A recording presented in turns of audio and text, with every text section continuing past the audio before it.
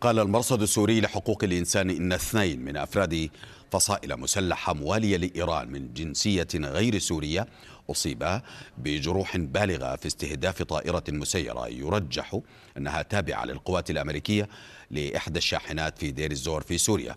وأضاف أن الهجوم استهدف شاحنة على الأقل تابعة للفصائل محملة بالسلاح وذخائر على طريق بلدة الغبرة مطار الحمدان بريف البوكمال الشرقي دير الزور بعد عبورها الأراضي العراقية باتجاه الداخل السوري.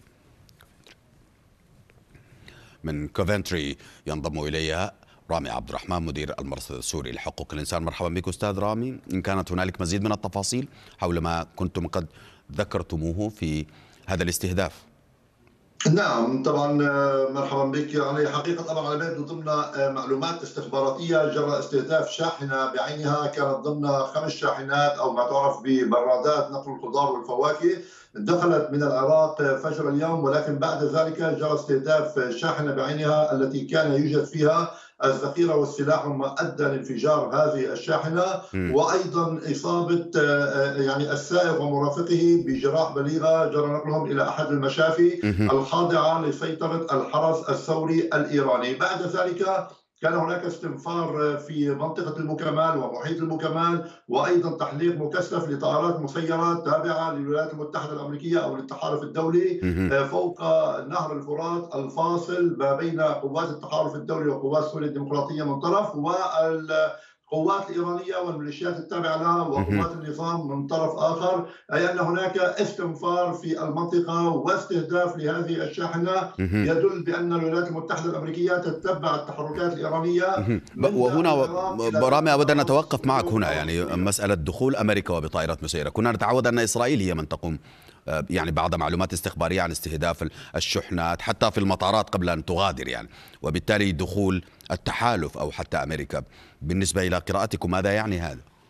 يعني إسرائيل على ما يبدو تتبنى يعني تقوم باستهداف يعني الشاحنات الكبرى أو القوافل الكبيرة ولكن على ما يبدو بأن هناك طائرات مسيرة هي مهمتها استهداف هذه الشحنات الصغيرة، عندما تقوم إسرائيل بقتل 25 عنصر نهاية العام الفائت واستهداف عدة مراكز بينهم عناصر من حزب الله هذا يدل بأن إسرائيل تركت أو تركت للعمليات الكبيرة التي توقع فيها خسائر بشرية كبيرة والولايات المتحدة الأمريكية تتجنب الدخول في إيقاع خسائر بشرية كبيره كي لا يكون هناك تصعيد كبير من قبل ميليشيات إيران في داخل الأراضي السورية. يعني هل هذا يأتي في إطار رد أمريكي على استهداف قواعده أو بعض المعسكرات في الداخل السوري؟ نعم نعم بشكل واضح لأنه بعد هذا الاستهداف أيضا كان هناك استهداف أو محاولة استهداف لأحد القواعد الأمريكية في شمال سوريا وتحديدا في محافظة الحسكة إلا أن الدفاعات الجوية على ما يبدو أسقطت الطائره المسيره التي حاولت استهداف أحد القواعد الأمريكية صباح هذا اليوم. نعم. ماذا عن أيضا أرقام ارتفاع أرقام الجنود في في الجيش السوري؟ يعني كيف يقرأ في أي سياق؟ عن طريق الخطأ أم لاختلاط هذه القواعد؟ يعني يوجد بها الجيش السوري وتوجد بها بعض عناصر هذه الميليشيات.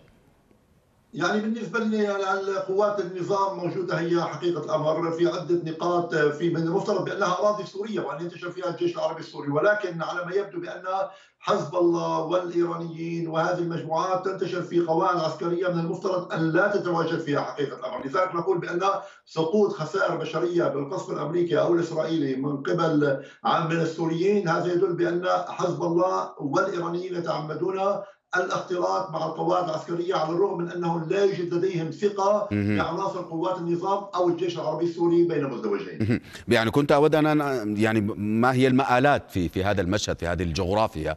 تداخل وجود الأكراد من جهة، الروس من جهة، الأمريكان من جهة، الإيرانيين من جهة. نعم نعم دعنا نقول بأن يعني من المكمل وصولا إلى ريف دير الزور الغربي هذه المناطق تحت سيطرة الإيرانيين بشكل شبه كامل، على الضفه الأخرى سيطرة قوات سوريا الديمقراطية وانتشار كبير للقواعد الأمريكية داخل الأراضي السورية التي تعرضت للقصف نحو 80 مرة منذ الحرب على غزة. وبالتالي هل هذه الفصائل وفق ما تعرف قادرة أيضا على توجيه ضربة أخرى للقواعد الأمريكية هناك؟ نعم نعم. هي قادرة على توجيه ضربات مؤلمة للولايات المتحدة الأمريكية ولكن حتى اللحظة لم تأتيها الأوامر. والدليل على ذلك بأنها قادرة عندما قتل 25 عنصر من الميليشيات المولى لإيران بعدها بساعات جرى استهداف قاعدة حق العمر بنحو 40 صاروخ من قبل هذه المجموعة. يعني طبيعة ما قامت به هذه الفصائل كيف يمكن أن تقرأه أستاذ رامي؟ يعني لا سقوط لضحايا هل هو يأتي في إطار؟ دعنا نصطلح عليه بقواعد الاشتباك أو عدم رغبة إيران في التصعيد.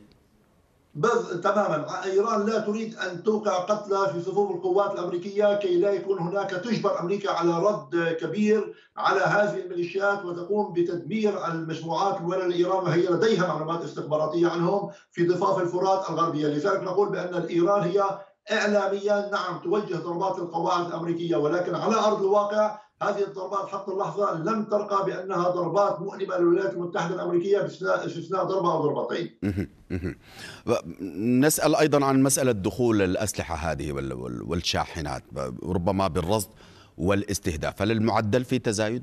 برأيك؟ هي مستمرة ولكن هل الولايات المتحدة الأمريكية أو إسرائيل هي تقوم برصد كل هذه الشاحنات الأسلحة السلاح يدخل ويخزن وينقل داخل الأراضي السورية لكن بعض هذه الشاحنات تستهدف نتيجة معلومات استخباراتية وبعضها الآخر يدخل إلى داخل الأراضي السورية ويخزن في دير الزور بعد ذلك ينقل إلى بقعة جغرافية أخرى داخل الأراضي السورية.